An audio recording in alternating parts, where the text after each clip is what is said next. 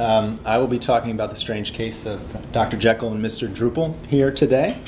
Um, can we get maybe just like a little stretch, a little bit of stand up, little energy? I know it's the very end of the, the camp. Just to be here with me. To, oh, walking all the way up, Benji, I appreciate it. Ooh, some push ups. Handstand. You win. You win the prize. And you're still standing. Well done. Well, I'll keep going. Um, yeah, y'all should be caffeinated. I know it was just coffee break time. So, uh, yeah, so we're here talking about uh, Jekyll and Drupal. Um, and here, of course, at Drupal Camp, New Jersey, uh, here on beautiful Princeton's campus is my first time. Um, so there's that work of art. Um, let's let that just sink in for a second, and we'll come back to it. Uh, I want to introduce myself first. Um, who am I? Not necessarily going through an identity crisis, but I do know who I am. I'm either that guy or it turns out to be this guy, the one looking at y'all. Um, I think I know who I am. Um, I've been doing Drupal for about almost 11 years now, um, which probably some could match that. I used to go by Illmaster C back in my earlier days, and then I thought, uh, it'd be a good idea to pretend like I had grown up and use my actual name as my moniker. So um, this is a sort of a means of hiding from my former self. Dun dun dun. Um, but it's fair to say that uh, pretty much. Oh, um, if this will work, I hope the audio will work.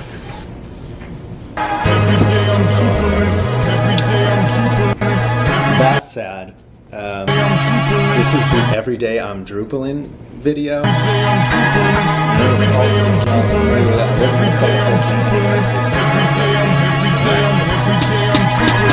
gotta say, hands down, the best Drupal slash cocaine trafficking song parody out there. No better, no, no, none could match it. Um, but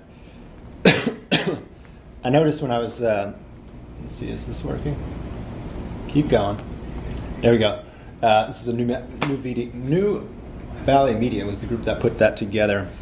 I noticed when I was checking out the parody. For those of y'all who don't know, is Rick Ross is a rapper, makes the song "Every Day I'm Hustling."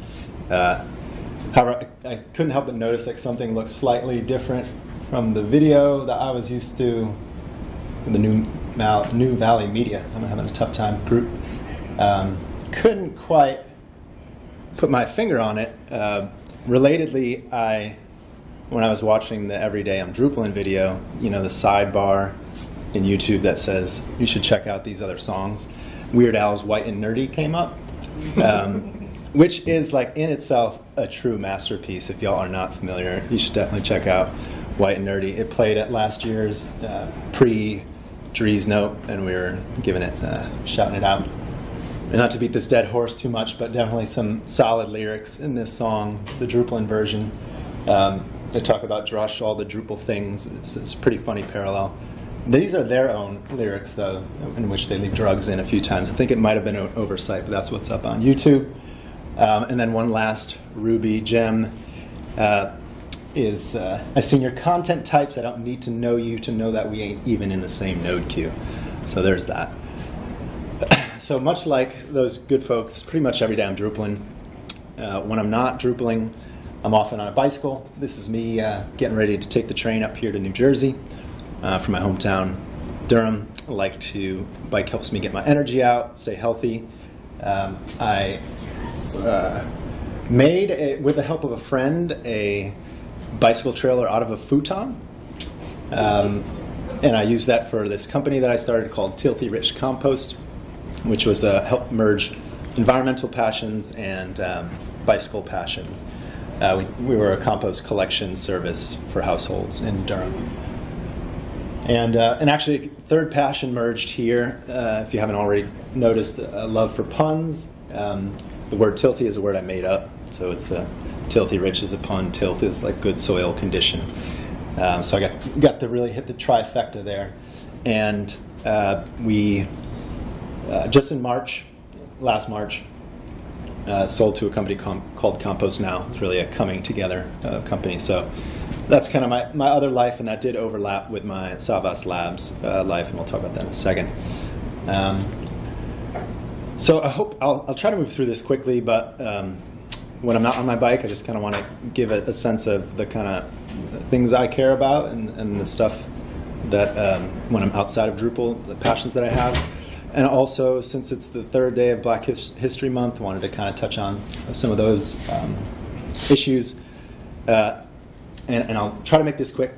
Um, stuff that I care about is universal opportunity, and I think that takes lots of different forms. And I want to touch on a few of those uh, quickly here. Um, you know, clearly, uh, groups that have been most categorically suppressed in the U.S. have been uh, African Americans in many cases. So as I think about this kind of vision, I want to invoke Dr. King's beloved community, you know, a world uh, free of discrimination and enmity, and one that promotes equality, access, opportunity, and peace. And I also think about you know universal opportunity in the sort of founding Declaration of Independence with um, you know the life, liberty, in pursuit of happiness. So I want to just touch on a few things very quickly. Um, you know, violence uh, against people of color is, uh, is, certainly an issue, something that we should be talking about during Black History Month. Um, as you can see, you know, this is tied in with the Black Lives Matter movement. Uh, the stats you're looking at here is mapping violence and police violence report. Uh, uh, people of color, specifically black Americans, are three times as likely to be killed by police. I don't know if you all saw this. Um, Ieshia Evans, this was in Baton Rouge when there was a protest for the killing of Alton Sterling by police, which was after a spate of other uh, men of color, often unarmed, who were shot by police just such a, an incredible, poignant shot, and she's so stoic. And there, for a while, I thought this was three three officers. They have so much riot gear and stuff on. It's actually only two guys, but um, I feel like kind of captures that uh, movement pretty well. um, the the sort of liberty aspect there. Um, you know, we do live in a country where a large portion of the population is incarcerated 4.5% of the world's population and 22% of the world's population prisoners. Um, so this is an economic policy institute that's also showing the huge disparities uh, per 100,000 people incarcerated amongst race. Um, and there are also very large wealth disproportions, uh, white on the left, black on the right, um, as well as income the disproportion. Uh, basically, is people of color, men and women, and the, the higher the number on the right, the more inequality. So things have actually gotten worse since the 70s.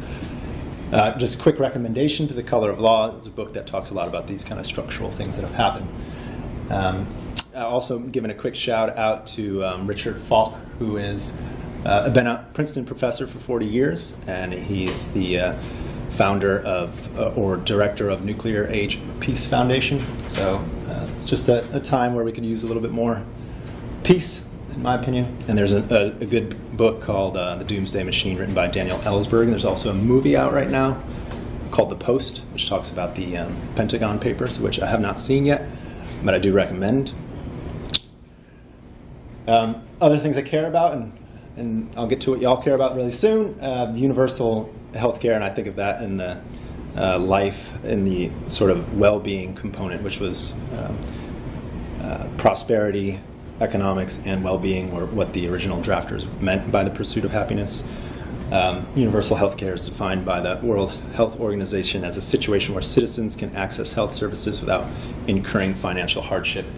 Without going into too much detail, you know, you probably know that the U.S. has a very uh, high cost compared to many other countries, and uh, some of the worst outcomes when it comes to infant mortality, life expectancy, curable deaths, efficiency, that sort of thing.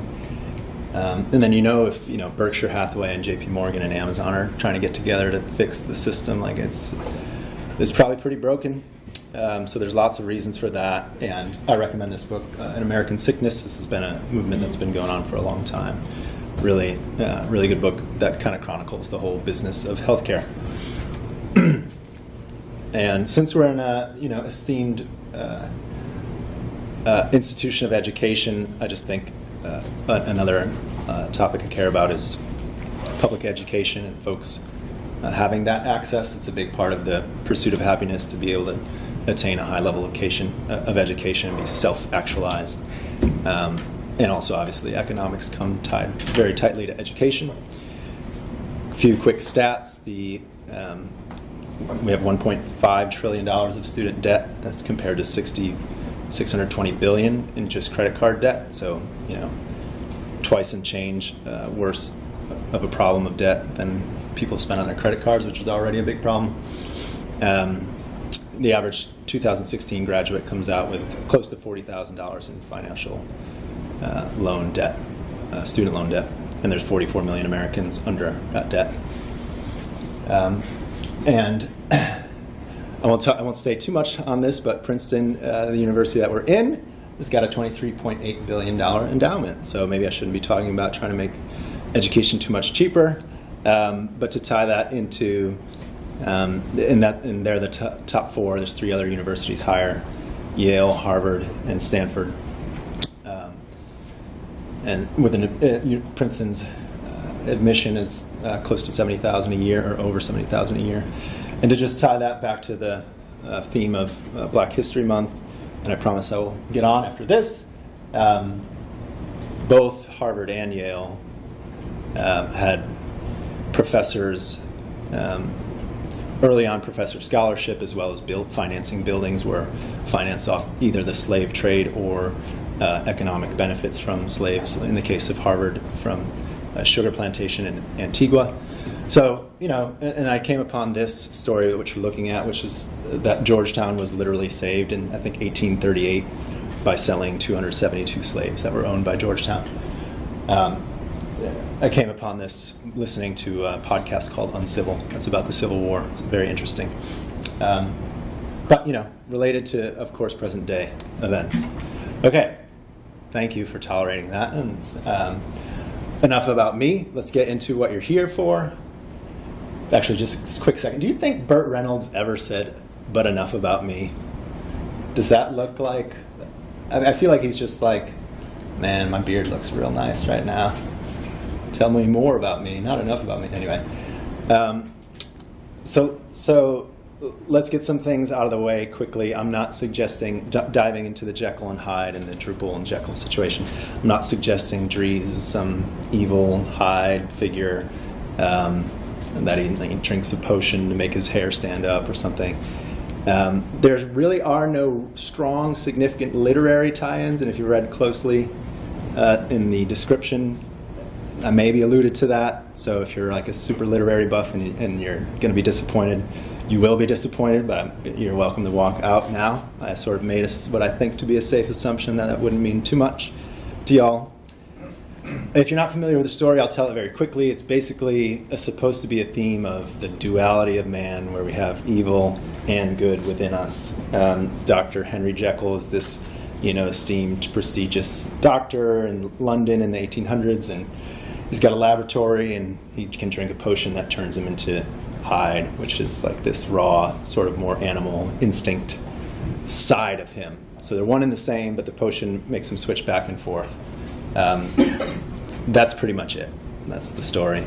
Um, so what I really tell, want to talk to y'all about today uh, for the rest of the 35 minutes is, um, you know, why we as an agency built, as a Drupal agency, built our website in Jekyll and not Drupal. So I just wanted to set those expectations from the beginning because I know it's important.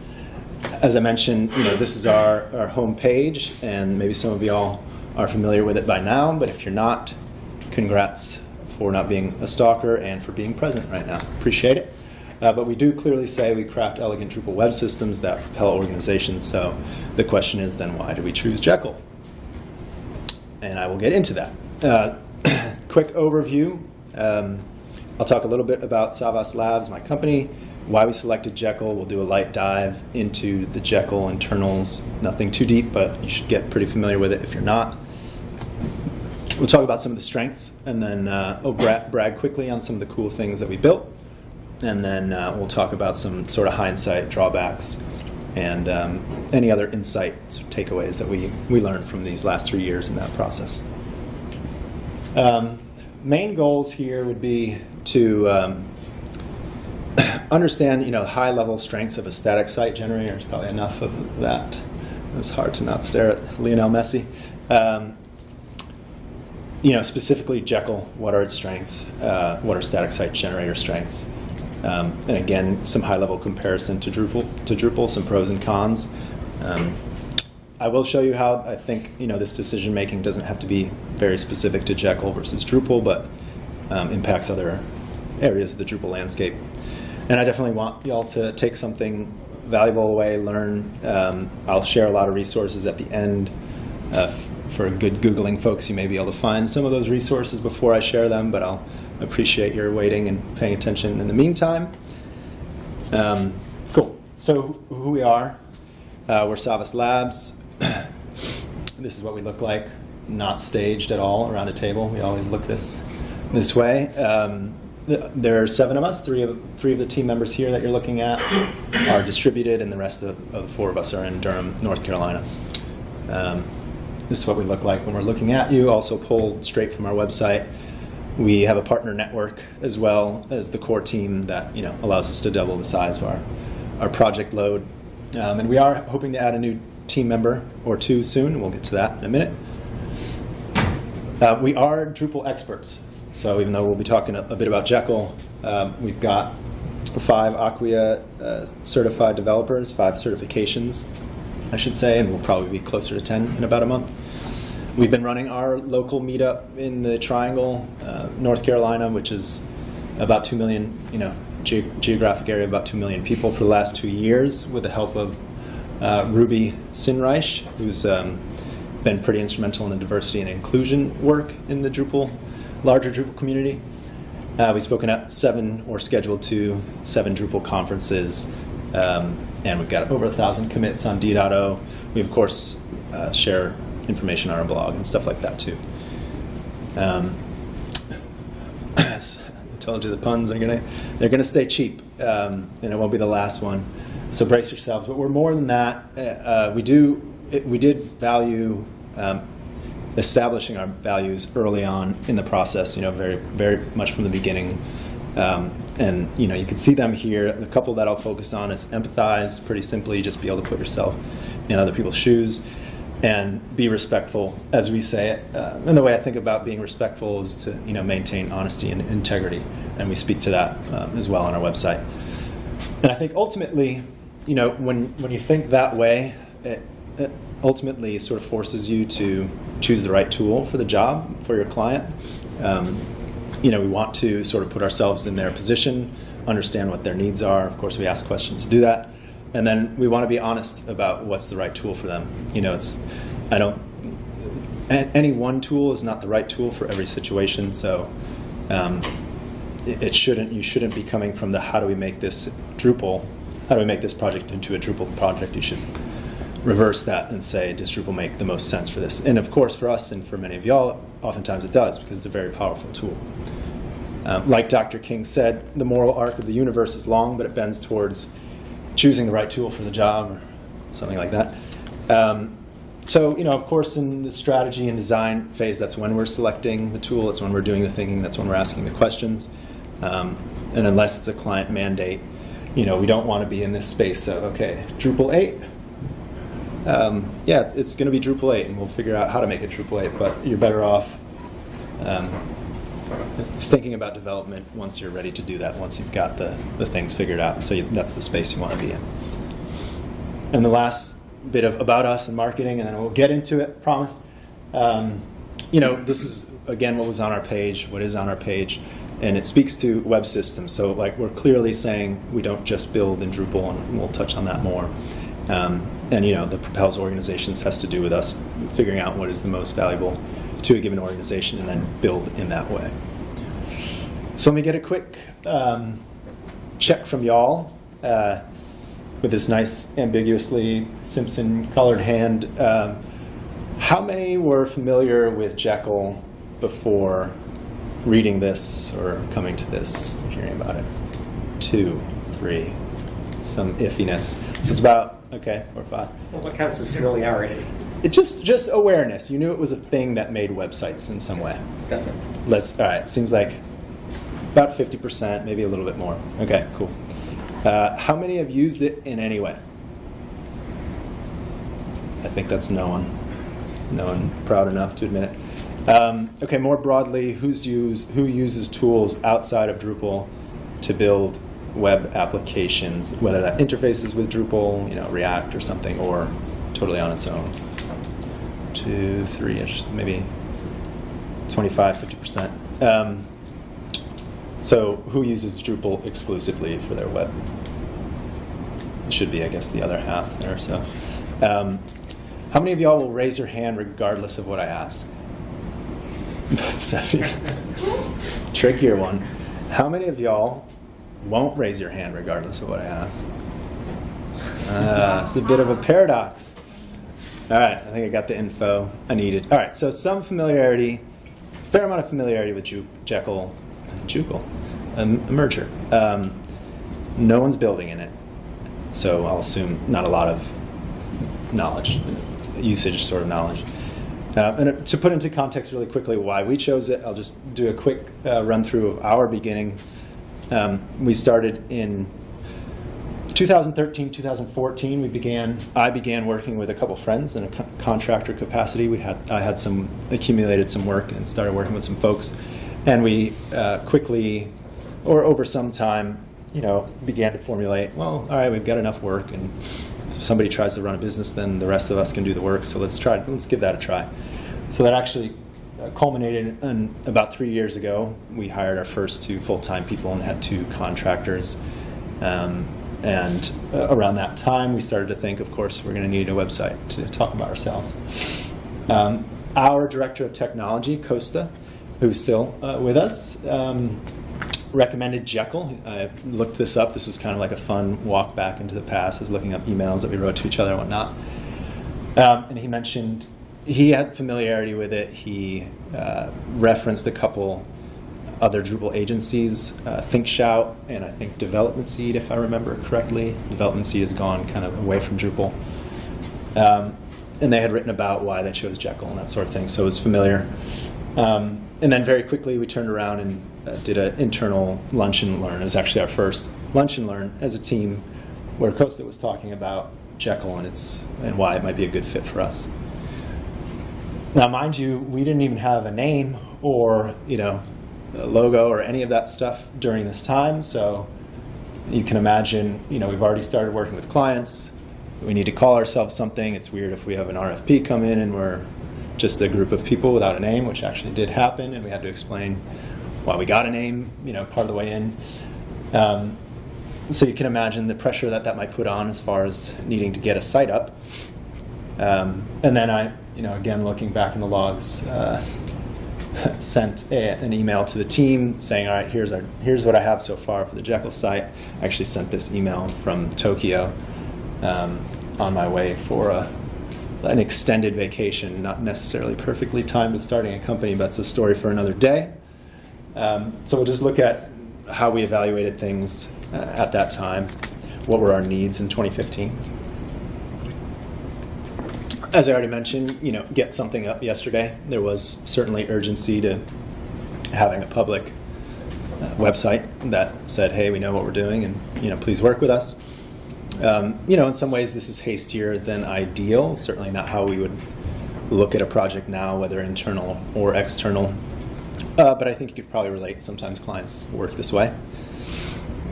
We did want to limit our costs, you know, to some extent. Uh, frankly, it's probably sm- smarter to think about value overall. But at the time, you know, we didn't have a long track record, and we thought we wanted to, um, you know, this was something that was important, something a simple hosting solution. We wanted ease of maintenance. We, um, y'all may remember this time when uh, a little thing called Drupalgeddon had just happened, and uh, we're we, along with everyone else, were a little bit paranoid about, you know, the what it required to maintain a Drupal site, even though, of course, we'd been doing it for a very long time. You may recall they, you know, said something like, if you didn't patch your site within 10 minutes, it's safe to assume your children are dead, or something like. There were these pretty strong, you know, careful, careful, careful. The world's crashing down. Uh, so, you know, we thought about, oh, it would be nice to not have to maintain something that had no database backend. and we knew we wanted blog capabilities. Um, you know, apart from basic pages, we had to have a blog. Um, and and you know, a shortcoming in thinking, uh, looking back, is uh, we only really did think about blog content. So you know, that's a thing. we also uh, the last uh, point there was we also wanted something we were familiar with. So of course we were familiar with Drupal. Um, because you know, oftentimes the tool that you know how to use is the right tool for the job, right? Um, so we did, did, did want some familiarity. so as I mentioned, you know, we brought Enter Stage Center, Jekyll. Um, there's the timeline again. So Jekyll is a blog-aware static site generator in Ruby. These are, I think, a little awkwardly worded, but that's what shows up on GitHub.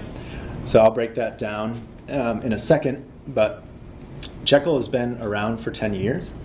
Um, and this is a correction. I apologize to my local TriDUG folks. I said five years when I gave this to them. It actually coincides with the beginning of GitHub. Uh, Tom Preston Werner, who's one of the, I think, three founders of GitHub, was the original creator of Jekyll. And basically, when he was uh, creating Jekyll, he got together with other uh, folks in the Ruby community in San Francisco and started GitHub. Um, and it's you know it's used by a lot of sites. Question, yeah. You showed the tagline, right?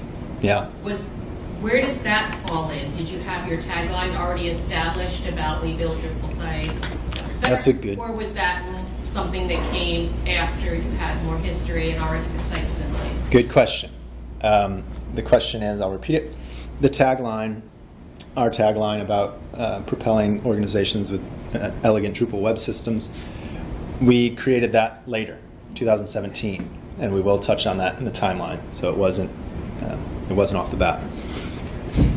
And just to give a quick context of size, I mean, there are many, many fewer times, fewer sites uh, compared to WordPress or Drupal. There are many fewer Jekyll sites. Um, it's a small enough percentage that's not even really worth mentioning. Um, I think I have a slide at some point, but probably the most popular one you're familiar with is uh, the Bootstrap. GetBootstrap.com is a Jekyll site. So just breaking that down, it's written in Ruby. Ruby is a programming language, much like PHP. Um, so that's one distinction. Um, it's blog aware. So this basically means it's this. It, it is. A, it's meant to be very simple. And one of the things it knows how to do well is create blog posts. So there's a very simple structure to formulate blog posts in a you know a straightforward way and serve those. Um, so that's most of what people are using Jekyll for is to write blogs. Um, and it's a static site generator. So in the first time we're describing this, a static site generator essentially is um, a tool that does no server-side processing, right? So you're building your whole site, you're then issuing some sort of build or compile command, and whatever that site, whether it be Ruby or PHP or whatever, all that internal processing is just putting out flat files, so HTML, CSS, JavaScript. So again, you can easily serve those flat files from virtually any server in, uh, architecture, and, and there is no you know, interaction with a user profile or, or anything like that. So the whole, whole idea, whole movement of static sites is to just generate flat files, and it's really, in, in some ways, is a, going back to a simpler web. Uh, just for a little bit more context, uh, and I just changed the slide last time I edited it, had edited it. Um, that's hard to say. The uh, there were 32,000 stars for uh, Jekyll on GitHub, and there's now 33,000, so it surpassed um, whatever is in 55th place. Um, and just for other context, there is this it's in the realm of this other tool. The hashtag is not the letter L. I won't fully describe it. That tool is actually like 50th in GitHub, and um, you hit the command F word and it redoes your previously error, aired out command. It's kind of interesting. You should check it out. But I was pretty surprised to see it as popular as it was and as profane as it was. There's Bootstrap. Um, that's a Jekyll site. So you might be asking yourself why Jekyll? for those of you familiar with the story, or for those of you who can remember me, quickly recap the story. Um, you probably aren't asking yourself that though, because I didn't ask myself that for three years while I was using it. So Um, my question is, does anyone know why it's called Jekyll?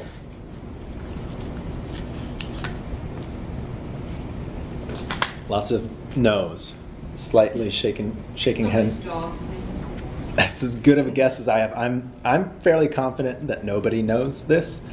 Um, if you have anyone any information on it, I would love to hear it. But I went to the docs. Jekyll is only Mr. Hyde is only in the configuration file like twice. You know, I looked at the founder. Went back to GitHub, checked out his profile, checked out his blog. Nothing. I went to Twitter. Couldn't find. You know, they've got a Twitter account. Couldn't find anything. Um, posted to their forum. Hey, you know, does anyone know why Jekyll is named Jekyll? Nothing.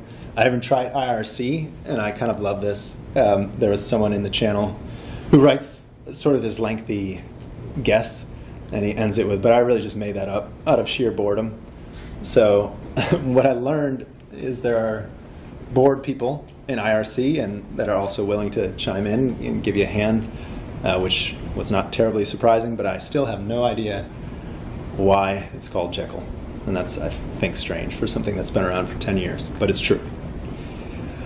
All right, so looking under the hood uh, quickly, this is a bicycle brake hood. Um, there are, I just want to focus on a few quick directory structures and then move on. Um, the, and those are config YAML, the layouts directory, the post directory, the site directory, and additionally any HTML or Markdown file. So the config YAML file you could liken to the Drupal settings.php file. It's going to be where you put in your site specific configuration. What do you call your site? What's an email? You know that should be used as a contact. Various sort of high-level configurations. There's a layouts directory, and in there you would put theme-like files, right? Templates that have some um, you know, it's Liquid. Liquid is the templating engine in Jekyll uh, versus Twig and Drupal. So you, you know, that's where you've got your sort of uh, mostly HTML with little variable drop-ins. Um, there's the posts file, which uh, is where blog posts are written. So each blog post is just its own file, uh, individual file with um, some metadata at the top. And that's what I'm showing here in, in Jekyll. This is called front matter. So there's just a means of putting at the top of any file uh, essentially any metadata that, that may be helpful for that file to generate. So in this, in this case, this blog post tells it, the, meta, the front matter talks about um, the layout, the title, the date, who authored it, what are some tags you want to put on it, what's a summary, um, you know, for little snippets, that sort of thing. Um, and then there's the site directory. So once you, as I mentioned before, you do your compile, your build, everything gets put into the site directory. Um, so this again means any basic, basic hosting infrastructure could, will be served from that site's directory. The nice thing with Jekyll coinciding with the building of GitHub is that GitHub Pages, um, it, it, GitHub Pages serves for free uh, Jekyll sites. So uh, if you um, basically uh, they make it really easy for you to uh, whatever's on your master branch, whatever you merge into your master branch, and that goes into the underscore site directory. That is what will be served from your GitHub pages.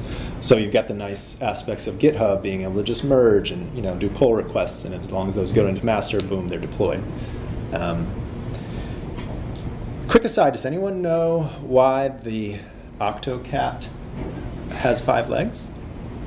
And it's called an Octocat. I don't either, but it definitely has five legs. I looked that up. Um, so I was like, all right, this is the Jekyll cat. Wait, this thing's Octocat, but it has. Anyway, quick aside, we're moving on. Um, another, just maybe one, I think, last thing I'll talk about in the Jekyll ecosystem is just this uh, bundler, which is the Ruby gem, which manages other gems in the Ruby world. Um, which is you can liken mostly to Drupal modules, a means of programmatically really easily pulling in other uh, kind of enhancements to the site. So this is a more simplified, sort of trimmed down compared to Drupal. But you know, for example, we we leveraged uh, HTML proofer, which will check for link accuracy in all your files, or GitHub pages is a is a gem that you need to install to deploy to GitHub. Um, we've got like a Twitter Jekyll Twitter plugin, and you can just put the Twitter link from a specific post, and it'll do all the nice uh, Twitter fanciness. So those are that's kind of the plugin uh, space or module space. So what do we like about Jekyll? Lots. Um, why it worked for us in 2015, uh, the database free component is definitely pretty compelling. I talked about how that, you know, it can be very performant. A site can be very performant if there's no server side rendering. Um, one of the nicest things is it mitigates security risk. We talk about being afraid of Drupalgeddon. The OWASP uh, top 10 web risks as of 2017, uh, three of them are mitigated by not having a database. The, the first, second, and fifth. For, um, in, in other words, the most prevalent, the second most prevalent, the fifth most prevalent vulnerabilities. And the first one is SQL injection. So without a database, you're, you're free from SQL injection. Um, lower maintenance costs without the database, right? You can host on GitHub for free. Um, and I say general familiarity. There, not not everyone and no one actually on the team was a Ruby expert by any means. You don't really have to in, interact deeply with Ruby to be able to successfully operate a Jekyll site. So, um, so we were familiar with things like Markdown and YAML and Twig. So the, the overlap there was uh, pretty good. And then again, the the workflow um, of being able to just merge pull requests was really nice and really easy and was really familiar with the team uh, and really efficient as well. Um, and it did work for us at the time because all of our team were developers, right? Familiar with the command line, comfortable with that, comfortable with getting in the in the weeds. um, we adopted linters of all sorts. This was something that kind of came into our purview, especially in the Ruby and Jekyll community.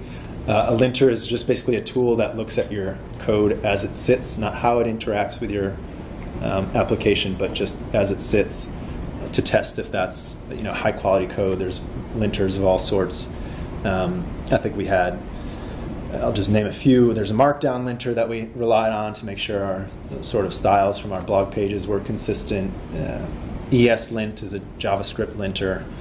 Proselint is actually a, a linter that will check your blog content, so and, and, give you some grammar advice and that sort of thing. And it's like really sassy and sarcastic, so I definitely recommend checking it out. It's a lot of fun. And then we've got, um, and it's useful. It's definitely useful, and we don't, you know, you don't always adhere to the recommendations, but they're helpful to be aware of, you know, to be knowledgeable about.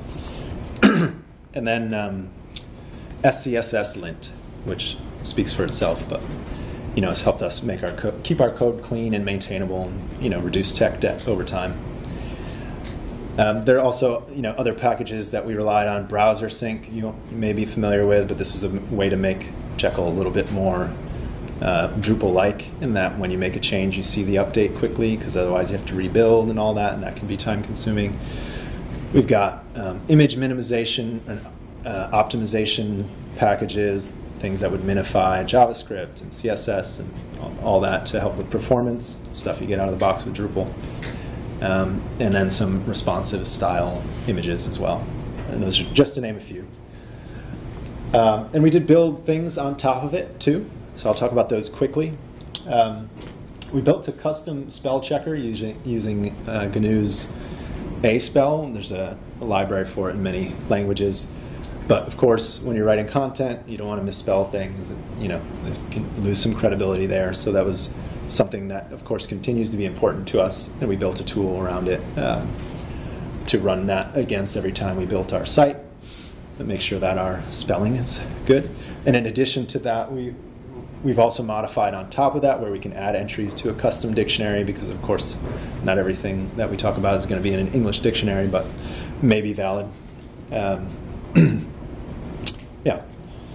we built a living style guide. We used a tool called Hologram, which is um, Trulia built and open sourced.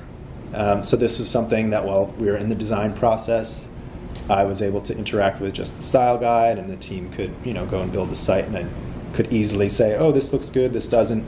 Um, so it was a really nice tool to use. And Hologram specifically, you can just put comments in, and that uh, will the if you structure your comments in such a way, it turns out to mark up on the style guide. So it's like a really easy, easily maintained um, guide. It was really helpful for me as the client with this.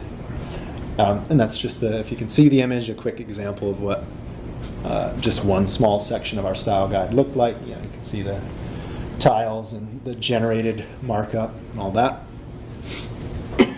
Um, one of the cooler things we built was a um, comment backend. So this was built in Lumen, which is a subset of Laravel, like a micro framework. Um, and then we use SQLite for the comment backend.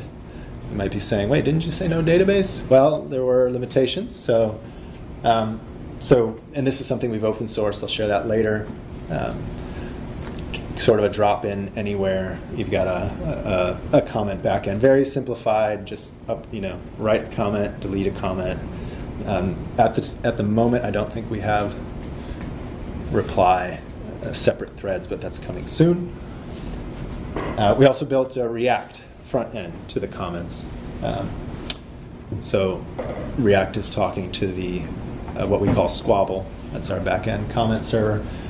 Um, and uh, here's an example of one of our posts of, actually about Jekyll and Gulp, uh, of you know bringing in avatars alongside folks' names, kind of formatting things uh, much more nicely than our previous rendition of our comment app, which did, wasn't built off of React.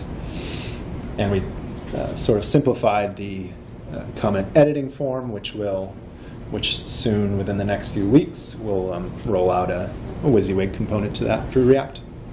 So that was pretty fun and cool. Now, and we built a, a powerful pre-commit hook, and you may, I was mentioning this a moment ago, but you know, if you think about when do you do QA on a static site generator, it's at time of commit, right? That's kind of uh, when you commit code is when you're updating a blog post or whatever it, the update may be. So our pre-commit hook, which is something you can set up uh, in Git a lot ran our spell checking and ran our markdown runs our markdown checking and runs prose checking. Um, and in fact, we even have it checking to see if certain kinds of blog posts that we expect to be tagged in certain ways have those tags. So there's a lot of um, customization that we've done to sort of adhere to the things that are important to us, and that happens at commit time. So when you say git commit, um, it'll prompt you and say, "Hey, you've got these spelling errors. You want to fix them?" You know that sort of thing. So that's pretty cool. and definitely helpful to the quality of what we're producing, you know, um, specifically the prose. I mean, I've reread stuff I've written 10 times, you know, rewritten 10 times, and somebody else will look at it and make five changes, and then prose will look at it and make a couple changes. So it really does make a difference. Um, yeah, and in the process, we even enjoyed working with it. Um, you know, I think most people uh, these days, certainly developers, folks that like to build things, like to learn new things as I mentioned earlier, we didn't have to master it. We didn't have to be, you know, super super deeply proficient. But, um, you know, learning a new tool, being more familiarized with another ecosystem, just helps you think in those kind of structural ways and exposes you to to to more. Uh, and I do think, you know, we've already seen some of those impacts I've already talked about of things that we bring into our Drupal world that we probably otherwise wouldn't have. Um, there were certainly parallels. There were, you know, Liquid as I mentioned, Liquid templates very similar to Twig, and, and we had more experience earlier with Liquid, so it made our kind of Drupal 8 onboarding a little bit simpler in that way. Some of the you know the Node package system which we rely on and the Ruby Gems uh, bundler package system are very similar to um, excuse me Composer, so interaction and familiarity with that helped. Um, some of the things you get for free with Drupal means you don't have to think about them that much. Um, so it's sort of, you know, we specifically on the performance end of things, we really had to get down to some fundamentals, uh, a fundamental understanding that I think enriched uh, several members of our team in the performance aspect. Um, so folks like that. And I pulled this quote, you know, asked for feedback about uh, present this presentation from the team, and I pulled this quote from Anne on our team, who says it, it absolutely helped me become a better developer. So, you know, a good thing to hear, and I think reinforces that that strength of not being too too narrowly focused. Um, so this gets on the question you were asking a, a, bit ago, which was we did redesign our site back to the timeline here in in time for DrupalCon 2017 in Baltimore. And at that time, we you know we basically released it the day of DrupalCon. We were working to redesign it until then. Uh, we had hired a, a, designer, Oksana, who's wonderful. Um, months before that, and we were sort of in the feeling that you know our website's not really reflecting the kind of quality of design and work we can do. So that was the motivation then, and um, you know there was enough inertia and stuff we had built into Jekyll, and we were still liking it a lot uh, that we decided, all right, let's stick with it. Clearly, this is you know a redesign is often a time that we think about re- retooling the whole thing. That's you know certainly what how we uh, talk about that with our clients as well. So. So, what about the present? um, I'll talk uh, quickly about retrospectives, uh, a retrospective look, and then we'll, we'll kind of wrap up with uh, where we go. Um, so, there were, there certainly were drawbacks to this approach, and we'll touch on those.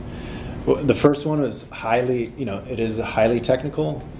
Uh, that's a relative term. Probably most folks in this room would feel comfortable with it, but um, not not everyone would. And as we think about building our team, you know, we're, we're looking to hire a marketing director. This person isn't expected to be a developer as well or have familiarity with the command line. So administering a Jekyll site, the way it is um, de- by default is not super simple for a non-technical person. There are workarounds, but any of them will not be as simple as you know working with a Drupal 8 site and logging in. Um, we definitely had to build things that you get for free in Drupal.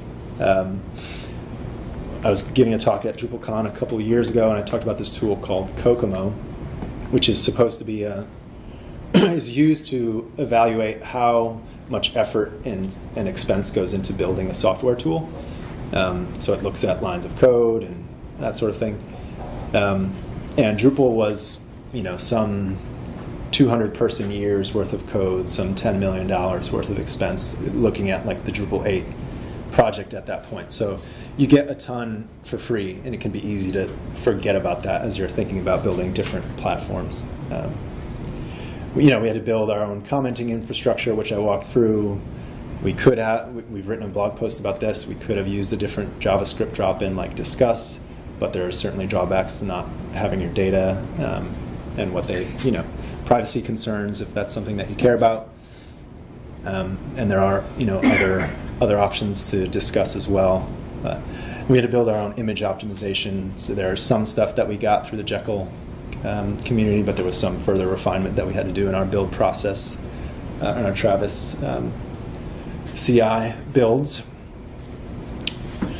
Uh, and Similarly, you don't get as much for free. No admin UI, that's a separate thing. Uh, no drag and drop interface with blocks or any of that, of course. You know, internationalization is a pretty profound thing that comes with Drupal. So if you're trying to do multilingual sites, you know, that's huge. We wouldn't do that in Jekyll. Uh, you get a lot of accessibility baked into Drupal, especially 8, that um, frankly you're a little bit more on your own with Jekyll. Um, forms aren't a thing, you know, unless you're similarly doing a JavaScript drop in like you would with a comment system. Forms, there's no server side processing, so forms are a challenge. Search, there's no search. There's a means to get search, but that's another JavaScript library. Um, even things as simple as anything dynamic. You know, we wanted to do rotating quotes. Can't do that unless you rebuild the site every time or you do some JavaScript manipulation of the page.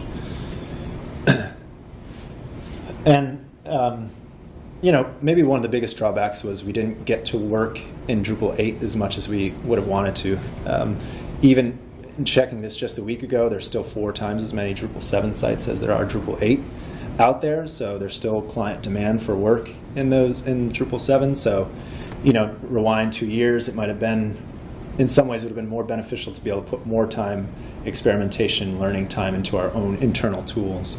Um, and we didn't get that opportunity.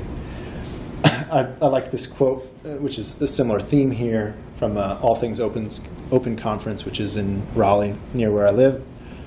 Um, big open source conference. Ed Finkler says, uh, "Be liberal about learning new technologies and approaches, and be conservative about using them." um, you know, you want to be learning all, all, the time, and it's helpful to be learning uh, easier, less risky to be learning internally. If you're doing that outside uh, on client work, you know, there's more risk there. And just building the site uh, sometimes, you know, you've got to, every time you want to deploy, you've got to regenerate, and we've gotten to a pretty complex generation system at this point. So um, it, it's timely, and it's starting to get to be too much for us uh, into the future. One potential compromise is we could have built the site in Sculpin, which is a PHP static site generator, which would have gotten us for, you know, rewind three years, more familiarity with object-oriented PHP, which might have smoothed the transition to Drupal 8. So that's something we could have done, but we didn't. Uh, to, to, bring it through in the end, where do we go from here with Dr. King? Um, I think what we're looking for now is more diverse content, content types. Obviously, that is a really big strength of Drupal compared to almost any other tool. We're thinking beyond just blog posts, but we want to be able to create, you know, webinars and white papers and you know case studies and all that. We've built those in custom ways in Jekyll, but we're probably outgrowing that complexity. Um, again, with, with bringing on a non technical person, being able to edit, administer a site with a login is beneficial. And more interactivity. We are looking to for folks who are engaging with the site, engaging with our content. We want to have the opportunity to have forums, have them say, "Hey, I'm interested in this thing. Hey, contact me." Um, so, again, there's workarounds for this in Jekyll, but uh, it is kind of pushing us more towards the Drupal 8 world. And the truth is, we, we aren't certain which way we're going to go at this point. Um, this will be, you know, we've invested a lot, and a lot of it works well for us, but we're also, in some ways, outgrowing the complexity. Um, so this will be a decision that will be discussed with our, you know, marketing director when we bring them on. Um, on the good side, you know, technology changes uh, so rapidly, so you need to sort of be informed uh, constantly about what's out there and what's new, so it doesn't benefit uh, knowledge, you know, 20, 30 years of knowledge, the web changes so fast. Um, so we will be evaluating this over time, but we don't have a certain, a certain certainty at this point. Um, so I'll just share a few insights, and then we'll wrap. Um, one um, one insight that seems relevant to our situation is um, uh, sorry the WordPress comparison. WordPress people often in it, the, the stats and numbers show that it's easier and quicker to get spun up on WordPress, right? Um, but there are some limitations, and you're trying to do some deep technical work. So I think we're we're kind of in that paradigm where Jekyll is our WordPress. Um, you know, we try to tell our clients to think three years out and be thinking that way. Um, so hindsight, hindsight, hindsight is definitely 2020. So we are three years out from where we were, and we maybe it would have done things differently, but it definitely got us up running quickly, and it felt you know it's similar to that simplistic WordPress comparison. I think the biggest uh, parallel for what's much more talked about in the Drupal community is headless Drupal. Um, you know, this is where you'll need to. There's a lot of strength. There are a lot of strengths to the headless approach, but you also are throwing, you know, the baby out with the bathwater, so to speak. So you need to be very uh, cognizant of what are some of the risks. What are you losing with headless? What are the additional complexities that you don't uh, think about, that you may not think about when you're just saying, "Oh, this is what is great about this tool." So you definitely see some content out there about those who've done a lot of headless work talking about some of the drawbacks and some of the struggles that they've had. So I think I think that mind frame um, that we've gone through will be helpful for us, and I think should be helpful for y'all as you're considering headless. Um, and as I mentioned before, you know, inertia was definitely a factor.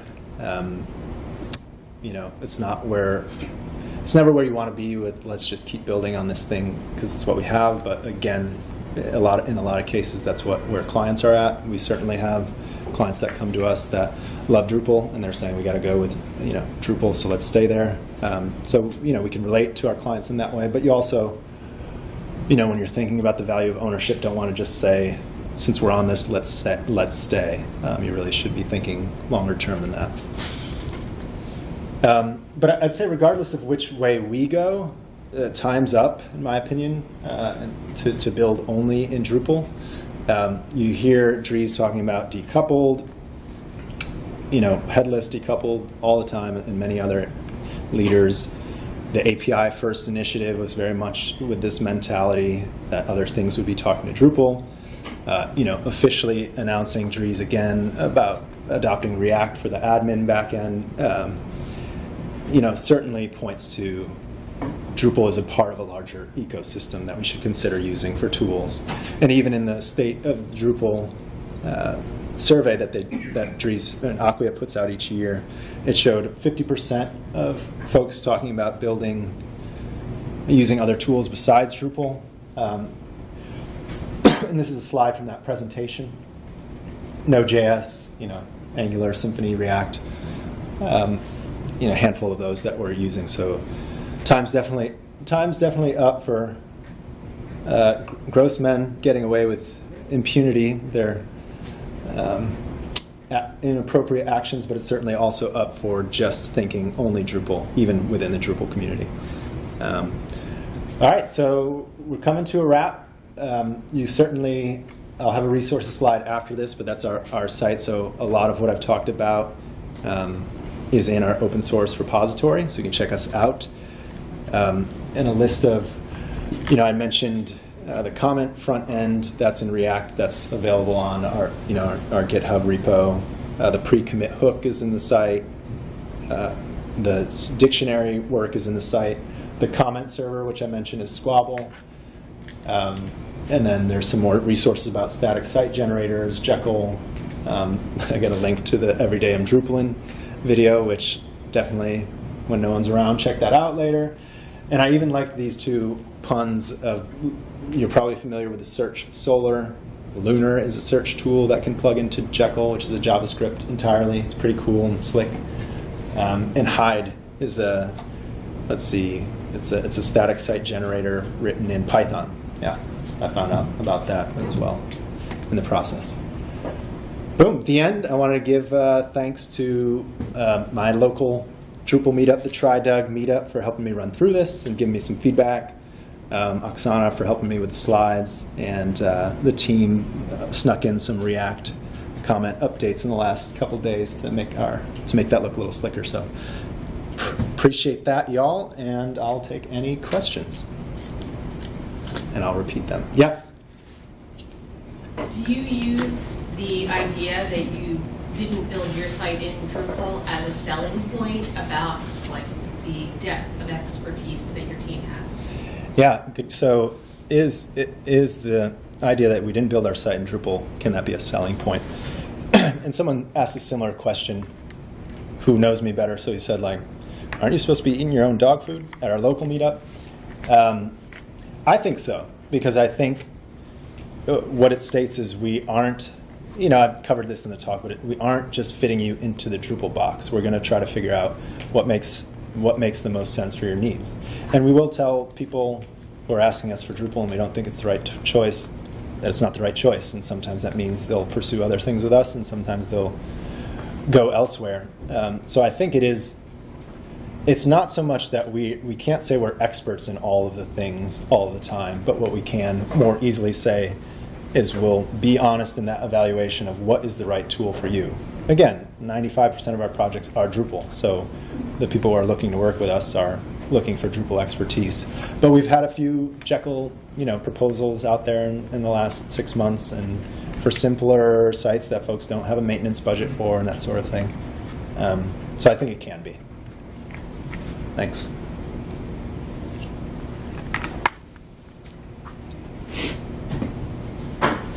Benji, you gotta have something. You don't have to. It's your choice. Anyone else? Any other questions?